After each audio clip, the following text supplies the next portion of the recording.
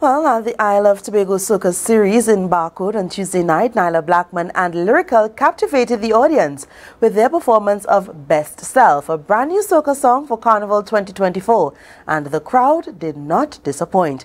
Reporter Tanikah Cruickshank brings highlights of this performance in this story. give me everything like you are well. We, we march through the streets like we are one. Again, one, again. When Nailah joined the stage, the audience loved it. So much so that they joined her on stage.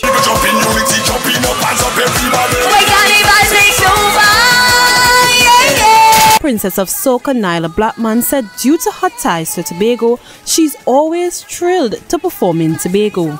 In midst of Carnival 2024 and there's a lot going on, there's a lot happening um, and we're just working really hard to see how it goes at the end of Carnival in light of the present crime situation in Trinidad and Tobago and with Carnival mere weeks away, Blackman urged citizens to be aware of their surroundings.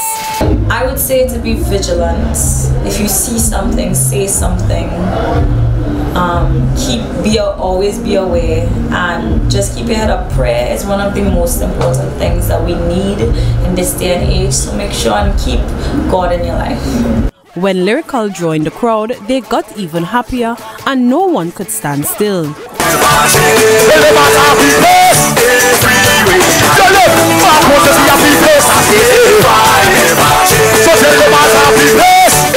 With their rendition of Best Self, a brand new song for Carnival 2024, Nailah Blackman and Lyrikal enchanted the audience, and they were not disappointed by the audience's response.